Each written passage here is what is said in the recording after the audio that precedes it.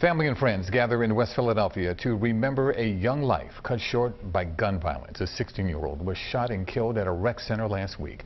Alecia Reid is in West Philadelphia where the community came together. Alecia? Good evening, Yuki. It's been five days since Kyrie Simmons was shot and killed at the Christy Rec Center behind me. And today, friends and family gathered to honor him at a prayer vigil and balloon release. Black and white balloons released to the heavens, celebrating a life taken way too soon. That was my mommy's baby. That was her world. He was our little brother. Tragedy struck at the Christy Rec Center Thursday, injuring a boy and girl, both 15, and killing 16-year-old Kyrie Simmons. He did nothing wrong in this situation. He was just here doing what all of us do.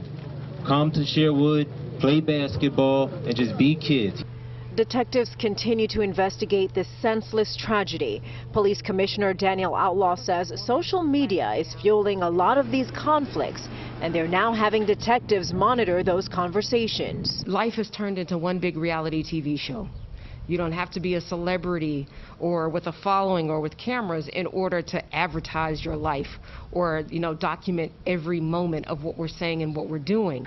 Advocates and officials say parents can play a role in monitoring their teens' social media usage.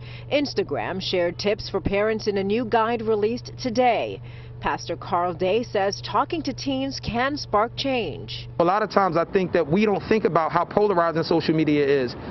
Instagram's restrict mode allows your teen to keep an eye on a potential bully.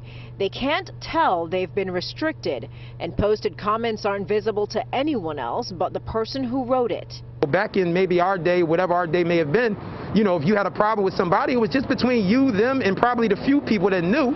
Now you got 6,000 followers, so in everybody's mind, all 6,000 people see you trying to play me. So now this is the way we have to handle things.